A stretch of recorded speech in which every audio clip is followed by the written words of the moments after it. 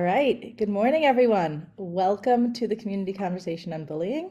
Um, my name is Jamie. I'm with Defeat the Label. My colleague Christine is joining us from Defeat the Label, and we are so excited this morning. Uh, we're excited to welcome the Meemic Foundation Director Pam Harlan, um, one of our amazing partners on this, and Mr. Kevin Epling, who will be our MC, who is an anti-bullying advocate, a parent advocate, and a superhero. Um, and I'm excited to welcome you all. And with that, uh, we have some amazing speakers for you today. And I'm going to go ahead and turn this over to Kevin so he can do introductions and uh, introduce everybody. So thank you so much.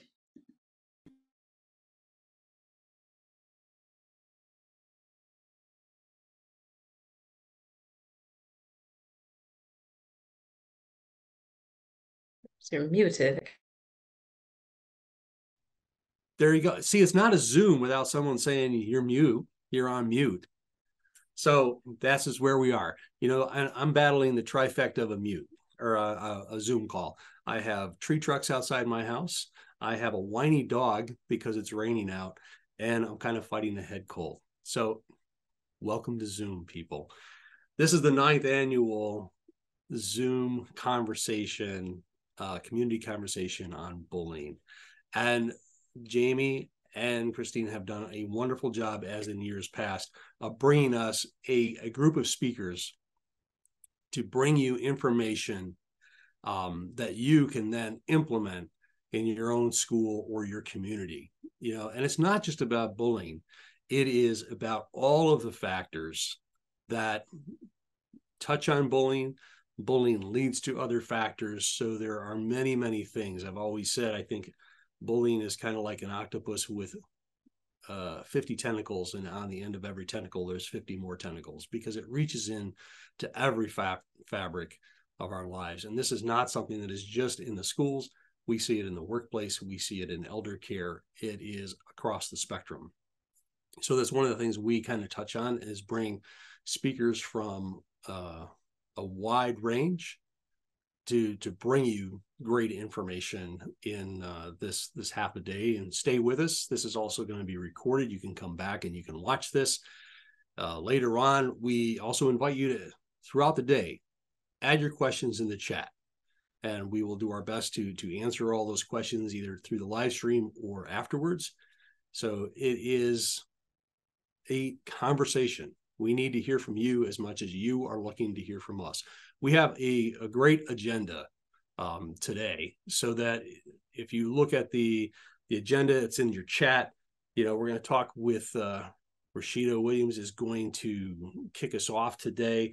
Then we're going to talk with uh, Thacker about his story and then frankie baghdad about neuro neurodiversity in our classrooms and then we're talking with carrie dewitt about the state of matt's law in the state of michigan and when we talk about that, even though it's Michigan, you need to think about what it is. If you are outside Michigan, how can you use some of those tools to look at your own law?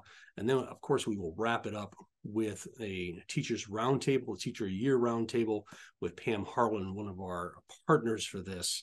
And Pam is with us. And Pam, would you like to say anything to everyone who is gathered today? There I am. Hi, Kevin. And hello, everyone. I'm so excited to be here representing Meemic and the Meemic Foundation.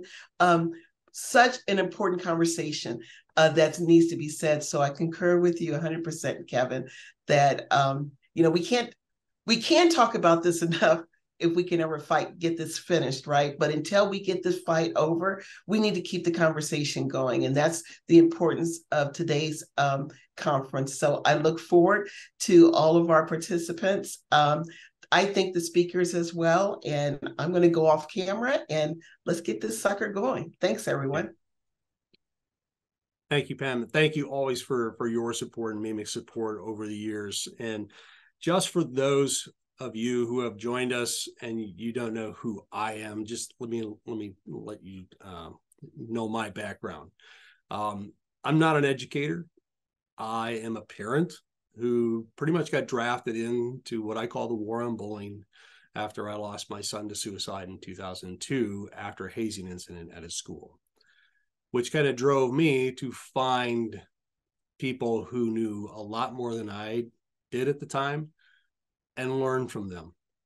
And to find multiple mentors who would help me find a new path in my new life in in moving myself forward.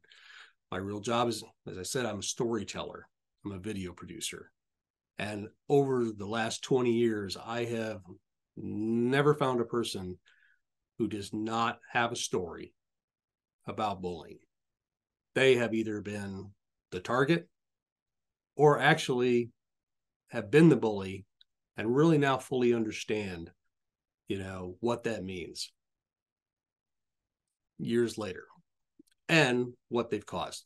So that old adage you know we get over it really doesn't work because we just bury it and it will always come back sometimes in opportune moments but it's always there. We carry it with us. I have found one of the things over the years that i feel is very important is student empowerment. You give the students that power to, to lead us because we are thinking sometimes older ways and they have new ideas. They are the ones in the classroom, they're the ones in the hallways. We need to actually learn from them.